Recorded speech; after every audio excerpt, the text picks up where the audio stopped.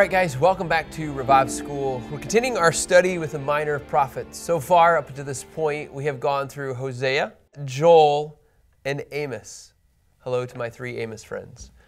And now we're in a book called Obadiah. I have to tell you, I don't know any Obadiahs. Do you guys? Uh, I don't, but uh, Sheridan said she used to go to school with a kid named Obadiah and she thought it was really weird.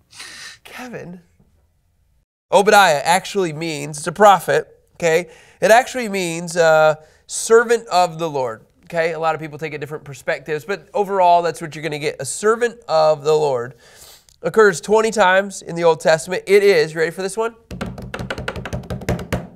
The shortest book in the Old Testament. Nothing is known for certain about Obadiah. That's encouraging. At least 11 times the name is mentioned in the Old Testament with this name that's not the prophet. Uh, interesting enough, uh, uh, some would suggest, okay, that he belonged to the southern kingdom. Okay, some would suggest that he belonged to the southern kingdom because of mentions of Jerusalem or Judah and Zion. So, in other words, he has more of a, a heart, maybe, and an awareness now, remember, Jerusalem is in the southern kingdom, okay, in Judah, even though he's up here in uh, the 10 tribes where he's listed. So some would believe, and I'm just going to say this loosely, okay?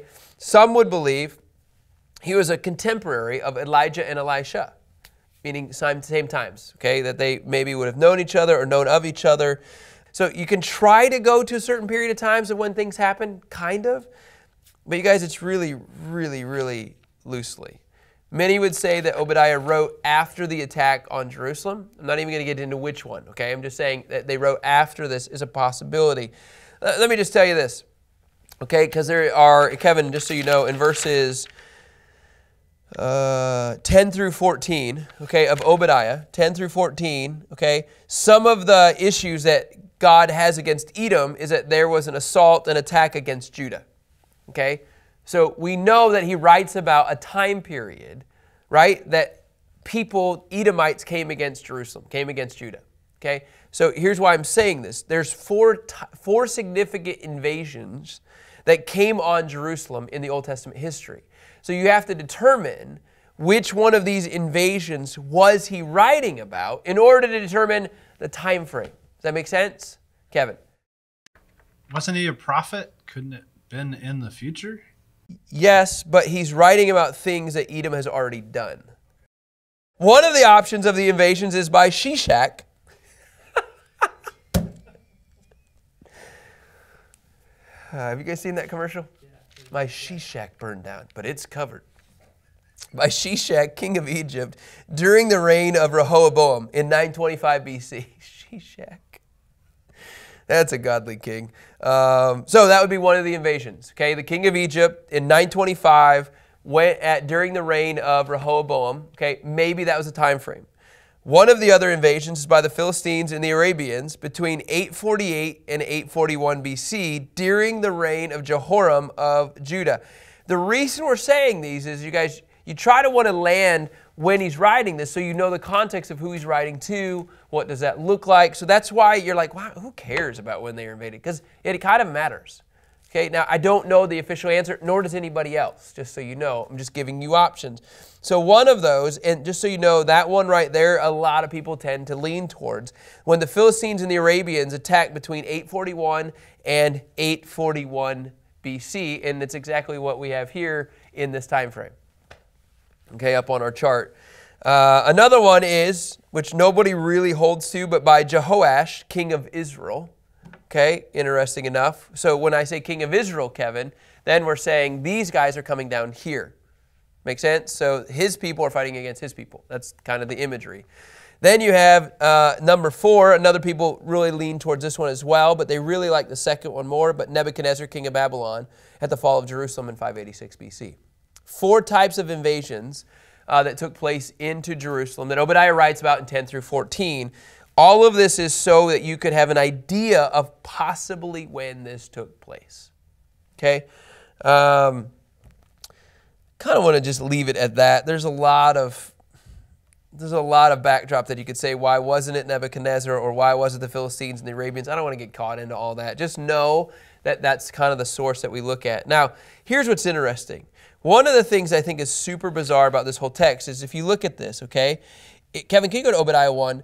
Obadiah 1, it says the vision of Obadiah, right? Remember, the Lord gives Obadiah an actual vision, servant of the Lord. He shows him something. But now remember how I said most of the messages the prophets gave were always to his people, right? But this vision specifically says this is what the Lord God had said about Edom. Okay? Now, in other words, this is going to come against the, the people that aren't of God, is really what this comes down to, which is kind of interesting. You have a prophet declaring a word for the Edomites. Now, I want to go to Mindy's new painting here. Uh, this is kind of interesting. Okay, Mindy actually labels this "judges the proud."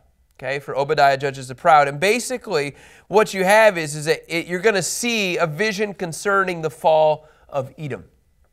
Okay, a nation that's against Israel, right? And so she says, "I painted the rocks to look like the landscape in that time frame."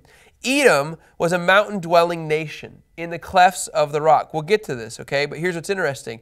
In verse 3, Kevin, of Obadiah, it says, the pride of your, your presumptuous heart has deceived you. You who live in clefts of the rock, in your home on the heights, who say to yourself, Who can bring me down to the ground? So the Edomites are all about, Look at me, nothing's going to change. I'm fine, we're good. So the pride lifts them up. But what you're going to see is in this vision that Obadiah releases, is that everything is going to come uh, crumbling down. So it's kind of a, an interesting picture. Uh, and, and, you know, again, in verse 4, though you soar like the eagle and make your nest among the stars, from there I will bring you down. God is constantly saying, every time you think you're something, God says, I'm going to turn you into nothing. But it's from Obadiah speaking into the Edomites. Okay? Well, who are these people, the Edomites? I want to spend quite a bit of time, honestly, in this, and then we'll get to the 21 verses in the only chapter of Obadiah. Edomites truly trace their origin to Esau. Okay? And so what you have is, is John MacArthur kind of gives us some personal background, and then we'll get into what we would consider like more of the location side of, of, of Edom. Uh, personal side is, is that, you know, uh, Esau, the firstborn son of Isaac and Rebekah. Okay? He was a twin. Okay, kind of interesting picture. And he struggled with Jacob even while in the womb. So you have, just so you guys have an understanding, Esau was a twin, and it's really Esau versus Jacob. Go to Kevin, Genesis 25, verse 22, just kind of give you a picture here. Genesis 25, 22 says, But the children inside her struggled with each other. And she said, Why is this happening to me? So she went to inquire of the Lord. So there was this struggle that started at the very beginning. Esau's name means hairy. Okay, he was like a hairy garment all over. Edom also means red. Okay, so you have hairy, you have red, and then he was the guy, do you remember this? He sold his what? Do you remember this, Kevin? His birthright. He sold his birthright. So we know that he was the firstborn, right? So he traded his birthright to Jacob. Uh, do you remember, Rich? Do you remember what he traded it for? Yeah, I traded it for a bowl of soup. Yeah, a bowl of st- soup. So he trades his birthright, which means he's relinquishing the favor as the birthright son the first son. He said, I'm giving it up because I'm really hungry. Right? That's really what it comes down to. Genesis 25, verse 30. Again, I want to build this up because nothing of Esau has he really walked into according to the plumb line, if you will. He said to Jacob, remember Genesis 25, 30, let me eat some of that red stuff because I'm exhausted. This is why he was also named Edom. Okay, so there it is. You see this. Esau then was also named Edom. He was named Edom because of a bowl of stew. Uh, a couple other things. If you go to Genesis 26, verse 34. So you have Esau and Jacob. Okay, now just so you guys know, I want to put everybody have this picture together. If Esau is named Edom, what's Jacob's name? Israel. Yep. There you go. So now all of a sudden you have Esau being known as Edom and Jacob being known as Israel. Hence Israel versus Edomites. In Genesis 26 34, then the Edomites began to even switch even more so. When Esau was 40 years old, it's interesting enough, 40 is a, a key age in a lot of scripture verses. When Esau was 40 years old, he took as his wives two people Canaanite wives Judith, daughter of Beeri the Hittite, and Basemath, daughter of Elon the Hittite. So he took two Canaanite women, right, you guys? And so all of a sudden, Kevin, he's now become two Canaanites. So now, Kevin, do you see he's already strayed away, even in marriage, away from the Lord. They weren't supposed to marry foreigners. And now here you have Esau, who's become Edom, marries two Canaanite women. Again, just as a picture. Uh, and then can you go to Genesis 28, verse 9?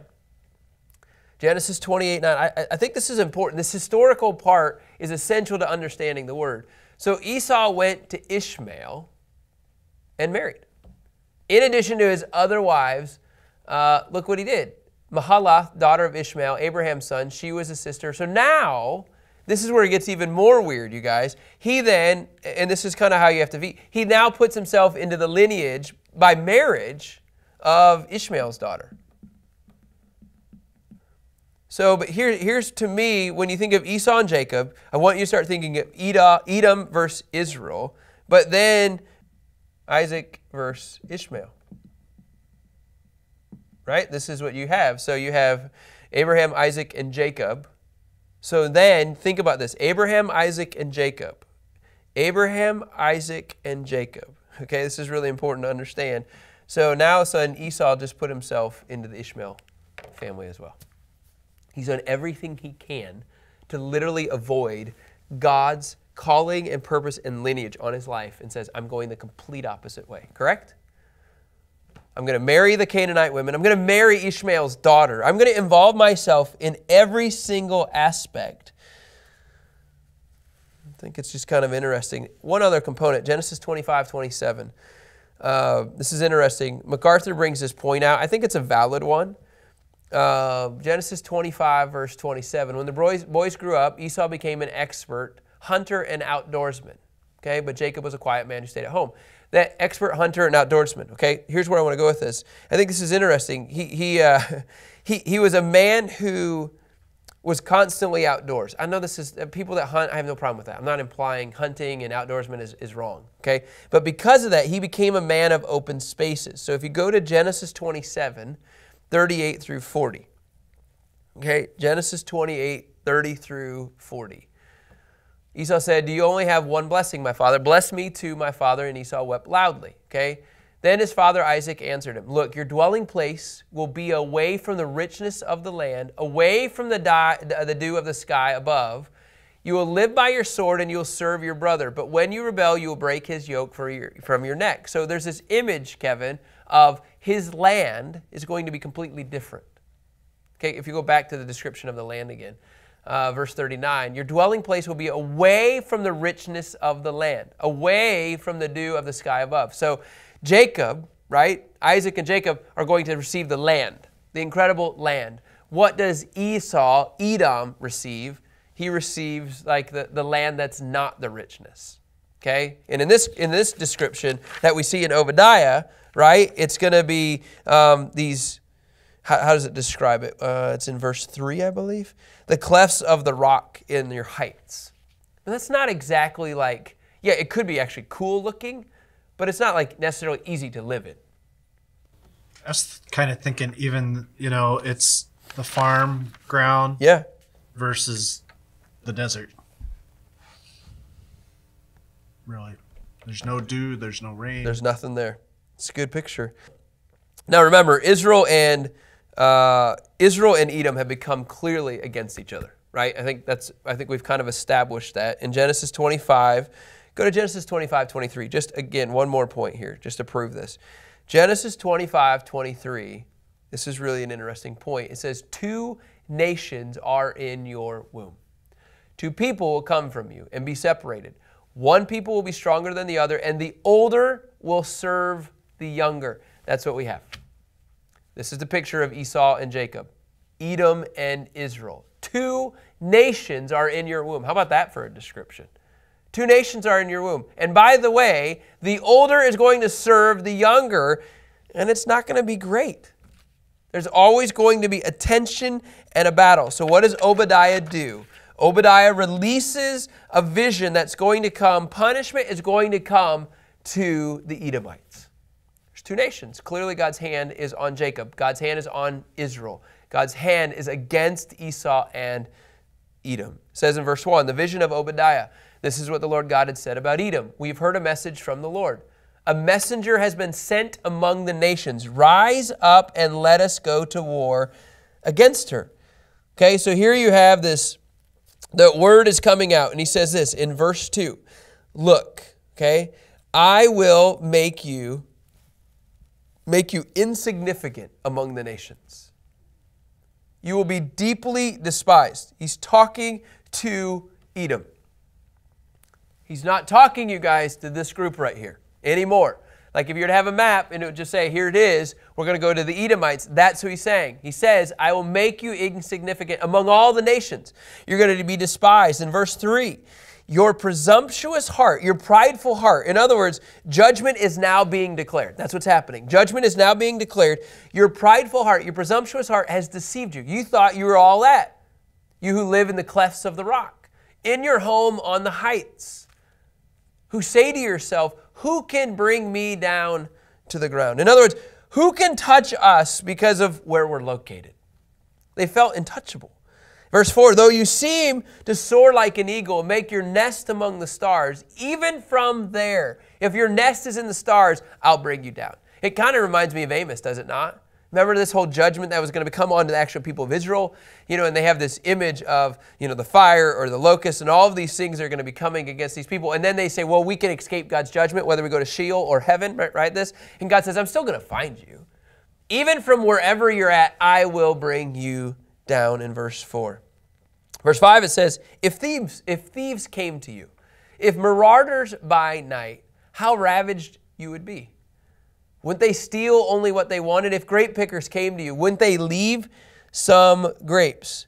Kind of an interesting uh, picture here. Verse 6, it says this So they're going to be brought down because of their pride, but then also at the same context, the wealth that they think of have been established is going to be plundered. It says how Esau will be pillaged. His hidden treasures searched out. So even though you put maybe your treasures in here and down below and over a, a rock, it's going to all be discovered. Everything is going to be pillaged. Everything is going to be plundered. I mean, when we had this tornado, uh, you know, that came through Dallas, you know, he had nine or ten tornadoes in one night. You know, what's everybody doing? Everybody is boarding up their houses so that looters don't come in. And, and really what this is saying is, is boards won't keep people out. That, that's the image that we're having here. No matter how tough you think you are, you're still going to be plundered. Then it continues on. Okay, so you have this uh, image of you're going to be brought down because of your pride. Your wealth won't last. And then it says in verse 7, uh, it, it, talks about this. Um, I think, who put this? Warren Wiersbe put it this way Your alliances are going to be broken. Everyone who has a treaty with you will drive you to the border. Everyone at peace with you will deceive and conquer you. Those who eat your bread will set a trap for you. He will be unaware of it. In other words, all of your allies, your neighbors, your tribes, they're all going to turn their back against you. Oh, hey, hey, would you like some bread? It's just a trap.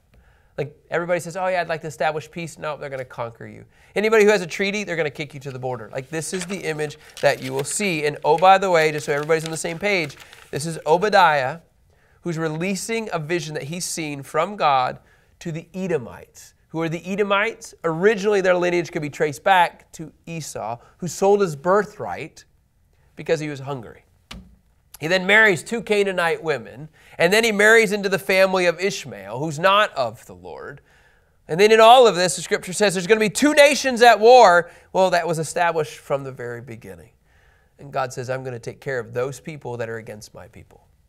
This is the image that you see in the book of Obadiah. It's only one chapter, it's the shortest book in the Old Testament. Verse 8, it says, In that day. And just so you guys know, you're now going to be seeing wisdom that they had. it's going to be destroyed. It's kind of a weird image.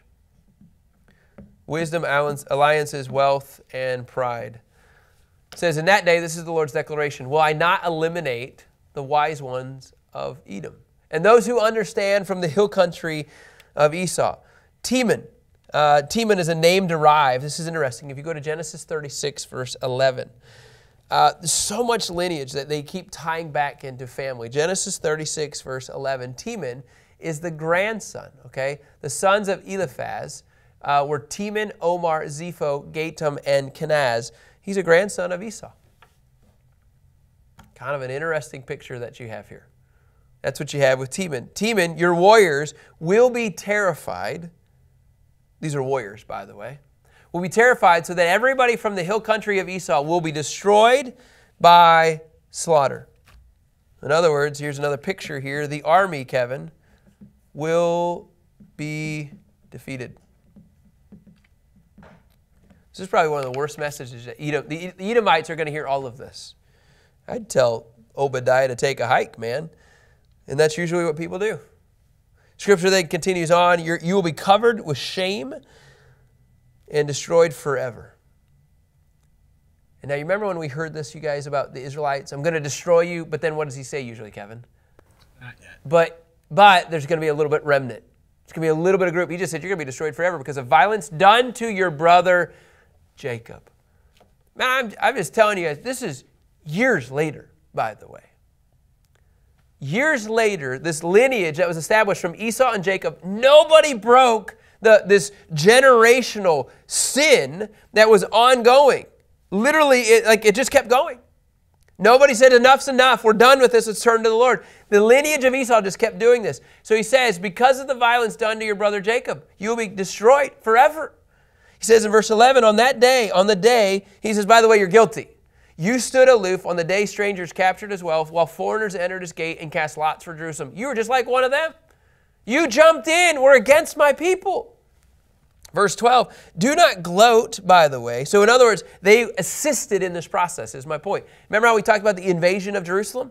This is what we're getting into. You assisted them in this. Now, don't gloat over your brother in the day of his calamity. Don't rejoice over the people of Judah in the day of their destruction. Don't most, boastfully mock in the day of distress. So, think about this. Not only are they assisting in the destruction, but now they're rejoicing that everything's falling apart. This is why, if you're in a courtroom, why God says guilty. He gives you multiple reasons. In fact, He's going to give you four reasons of why judgment's coming to Edom. You guys rejoiced over my people. He says in verse 13, Do not enter the gate of my people in the day of their disaster. Yes, you do not gloat over their misery in the day of their disaster. And do not, you're going to hear it three times, do not appropriate their possessions in the day of their disaster. You plundered, actually, the city, you guys. You plundered the city in verse 13. You rejoiced over Judah's downfall. And then Wiersbe even says, and then they stood withholding uh, and actually walked into and assisted in their downfall. This is why Esau is guilty.